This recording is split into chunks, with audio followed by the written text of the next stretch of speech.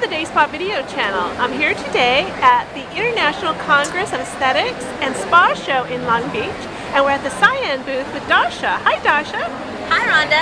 How's the show going? It's excellent. We love it. Sunday was crazy. We had a stampede in our class. We had standing room only and my mom Margarita was uh, doing the facelift class, neck lift, and people were just going crazy. So today it's kind of slowing down, which we love.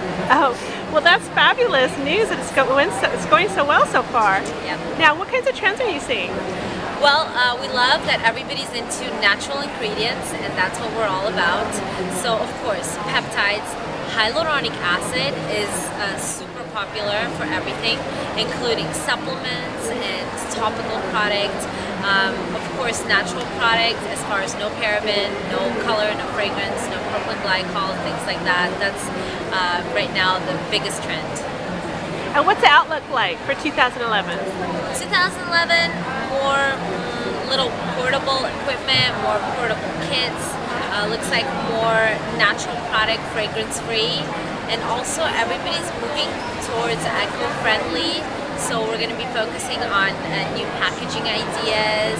We're going to try to not have so much waste and um, also cool spa things, which you can bring the spa to the house.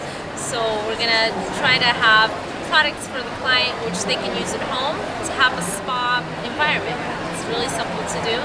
So hopefully uh, we have more of that at the next show. Well, sounds wonderful.